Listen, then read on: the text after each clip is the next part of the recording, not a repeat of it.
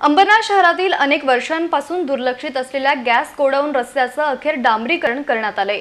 राष्ट्रवादी काँग्रेसचे शहराध्यक्ष सदाशिव पाटील यांनी अंबरनाथ नगरपालिकेकडे पाठपुरावा करून तातडीनं हे काम करून घेतलंय. अंबरनाथ शहरातील गॅस गोडाऊनकडे जाणाऱ्या रस्त्याची मागील दोन वर्षांपासून मोठी दुरावस्था झाली होती. या रस्त्यात एक भला मोठा खड्डा पडला होता. ज्यात पावसाचं आणि ड्रेनेजचं पाणी साचल्यामुळे रस्त्याला अक्षरशः तलावाचं स्वरूप आलं होतं. रस्त्याची ही दुरावस्था एबीसी न्यूजनं वारंवार समोर आणली होती. तर भाजपनं सुद्धा या रस्त्यावर पालिकेचं श्राद्ध घातलं होतं.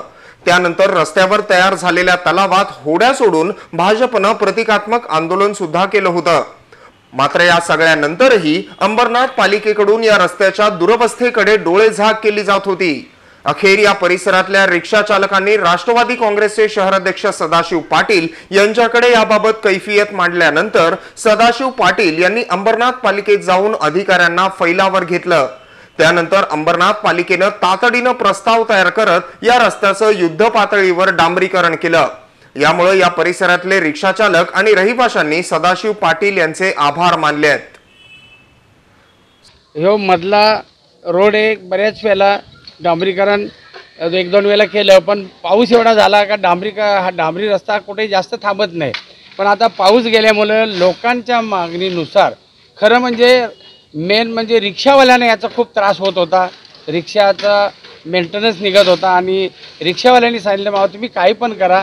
डांबरीकरण का होईना? डांबरी रस्ता का होईना? तुम्ही तुर्तास डांबरीकरण तरी आम्हाला करून द्या. म्हणून त्यांच्या मागणीनुसार हा तुर्तास डांबरीकरण रस्ता आम्ही करतोय. अंबरनाथ शहरातल्या काही रस्त्यांची अवस्था गेल्या वर्षभरात अतिशय बिकट बनली होती. या रस्त्यांच्या दुरवस्थेवरून अनेकांनी आंदोलनं केली. मात्र अखेर सदाशिव पाटील यांनी अधिकाऱ्यांना फैलावर घेतल्यानंतर या रस्त्याचं डांबरीकरण झालं. त्यामुळं आता अशाच पद्धतीने शहरातील इतर खराब रस्त्यांचीही पालिकेकडून डागडुजी केली जाईल अशी अपेक्षा व्यक्त होते समृद्धी कोल्हे आणि सुमित गवळी एबीसी न्यूज अंबरनाथ.